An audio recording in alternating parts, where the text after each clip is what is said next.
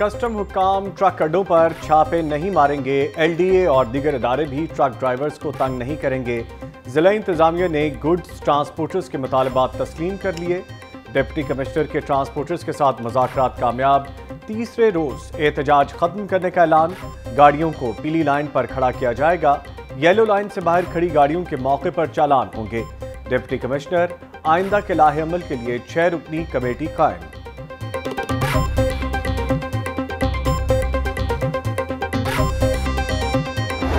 Petrol pump مالکان نے helmet کے بغیر پیٹرول نہ دینے کے فیصلے کو چیلنج کر دیا۔ پیٹرول پمپ مالک عرفان بشیر عدالتی فیصلے کے خلاف ہائی کورٹ پہنچ گئے۔ فیصلہ کا لدم قرار دینے کی استدا ہائی کورٹ کا دو رکنی بینچ آئندہ ہفتے سماعت کرے گا۔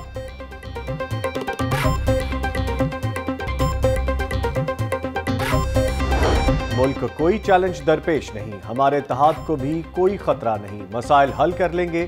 ملک میں دو بڑوں کو این آر او نہ دینے کا جھگڑا ہے۔ سیاسی جماعتوں کے بغیر ملک نہیں چل سکتے۔ فواد چودھری کی میڈیا سے گفتگو۔ کہا، جمہوریت کا مطلب جرائم پر پردہ ڈالنا نہیں۔ یہ دعاؤں کا سال ہے، بد دعاؤں کا نہیں۔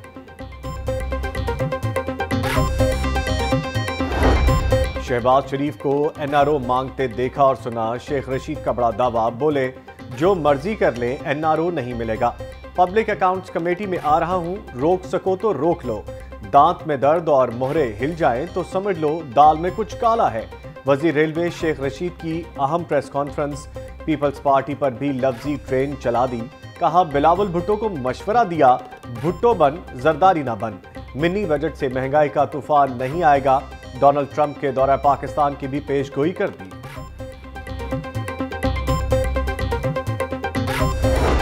Paragon housing scandal case, Khawaja Saad Rafique اور سلمان رفیق کے جسمانی ریمانڈ میں سات روز کی توسیع۔ احتساب عدالت کا چھبیس جنوری کو دوبارہ پیش کرنے کا حکم۔ کوئی خفیہ لین دین نہیں، ہر چیز کا ریکارڈ موجود ہے۔ جسمانی ریمانڈ کی ضرورت نہیں۔ خواجہ برادران کے وکیل امجد پرویز کے دلائل۔ پیشی کے بعد نیب ٹیم نے خواجہ برادران کو نیب آفس منتقل کر دیا۔ عدالت کے باہر لیگی کارکنوں کی خواجہ برادران کے حق میں نعرے بازی۔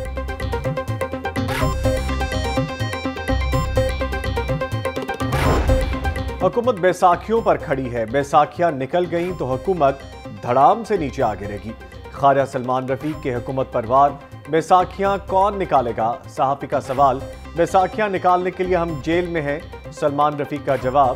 اپوزیشن کے اتحاد کو بھی خوش آئند قرار دے دیا۔ خواجہ سعد رفیق کا سات روزہ راہداری ریمانڈ منظور۔ احتساب عدالت نے بیس سے چھبیس جنوری تک راہداری ریمانڈ منظور کر لیا۔ خواجہ سعد رفیق قومی اسمبلی کے اجلاس میں شرکت کریں گے۔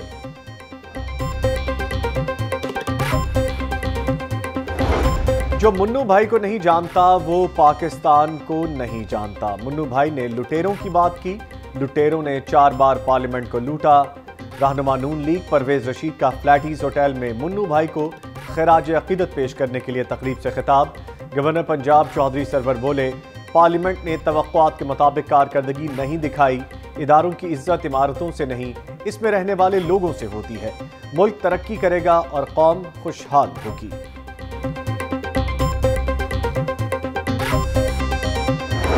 پنجاب حکومت اور قافلی کے درمیان معاملات سلجھ نہ سکے۔ وزیر اعلیٰ پنجاب سے ملاقات کے بعد قافلی کا پارٹی اجلاس، عمار یاسر کے استعفے اور دیگر معاملات پر سخت موقف اپنانے کا فیصلہ۔ وزیر اعلیٰ پنجاب کا قافلی کا معاملہ وزیر اعظم عمران خان کے سامنے رکھنے کا فیصلہ۔ پرویز الہی سے بات ہو گئی۔ عمار یاسر کو منا لیں گے۔ حکومت مدت پوری کرے گی۔ صوبائی وزیر اطلاعات فیاض الحسن چوہان۔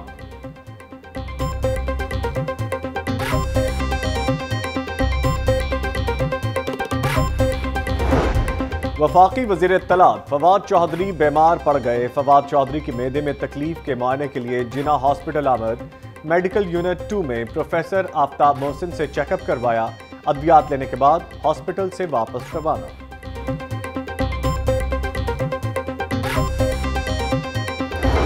ہیکرز کے وار، ترجمان پنجاب حکومت کا ٹویٹر اکاؤنٹ ہیک کر لیا۔ اکاؤنٹ ہیک ہونے پر ڈاکٹر شہباز گل کا سائبر کرائم سے رابطہ کا فیصلہ۔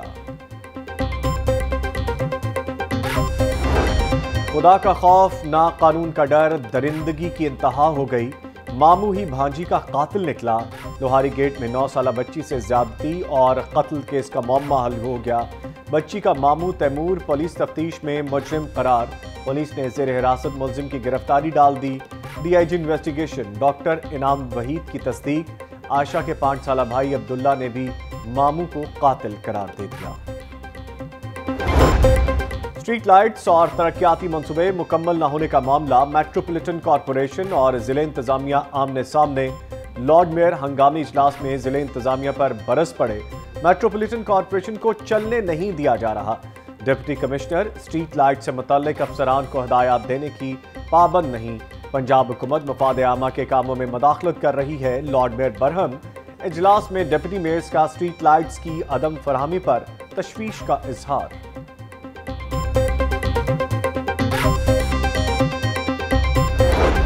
پنجاب حکومت نے میٹروپولیٹن کارپوریشن کے پیسے دبا لیے۔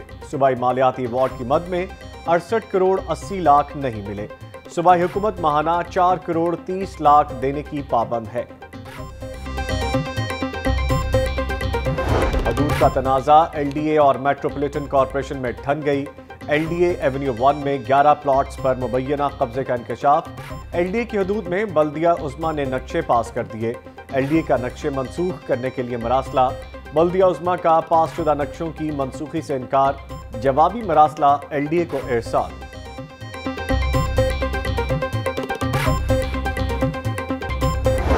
Rescue double one double two میں مبینہ corruption D G rescue, doctor Rizwan Naseer anti corruption میں پیش۔ محکمہ اینٹی کرپشن نے رضوان نصیر کو مبینہ کرپشن کے الزامات پر طلب کیا تھا۔ باغوان پورا میں گھر میں بارودی مواد کا دھماکہ، خاتون زخمی، علاقے میں خوف و حراس پولیس ٹیم نے جائے وقوع سے شواہد اکٹھے کر لیے۔ ایک ملزم زیر حراست، گھر میں آتش بازی کا سامان تیار کیا جاتا تھا۔ پولیس حکام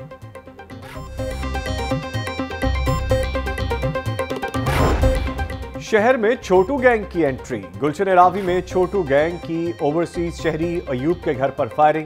چند روز قبل ملزمان کا شہری سے جھگڑا ہوا۔ صلح ہونے کے باوجود گھر پر گولیاں چلا دیں۔ فائرنگ کی C C T V footage. Lahore news کو موصول۔ فوٹیج میں دو موٹر سائیکلز پر سوار پانچ ملزموں کو فائرنگ کرتے دیکھا جا سکتا ہے۔ ملزم حنزلہ اور روحان کے خلاف مقدمہ درج۔ فائرنگ کا واقعہ دوسری بار پیش آیا متاثرہ شہری۔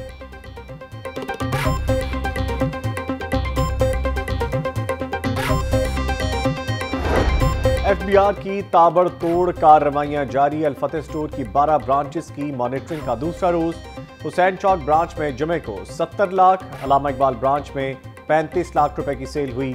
سٹور انتظامیہ نے تمام برانچز کی ماہانہ سیل پچھتر کروڑ روپے ظاہر کی ذرائع۔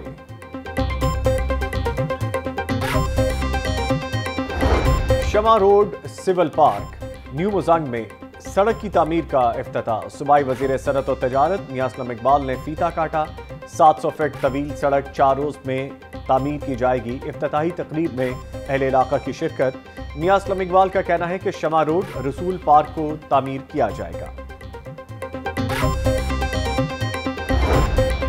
اربنس پورا کینال روڈ پر تجاوزات کے خلاف آپریشن، ایک ارب روپے کی سرکاری راضی واگزار، بیس کنال کی سرکاری جگہ سے قبضہ ختم، غیر قانونی طور پر قائم تین منزلہ فیکٹری بھی مسمار۔ جنہ مارکیٹ، گلشن راوی میں تجاوزات کے خلاف آپریشن کے دوران مداخلت کرنے پر دو افراد گرفتار، مقدمہ درج۔ ٹریفک وارڈنز کے لیے خوشخبری۔ ٹریفک وارڈنز کا ڈیلی الاؤنس پچیس فیصد، راشن الاؤنس دو سو فیصد بڑھانے کی تجویز۔ ایڈیشنل چیف سیکرٹری داخلہ فضیل اصغر نے سمری وزیر اعلیٰ کو بھجوا دی۔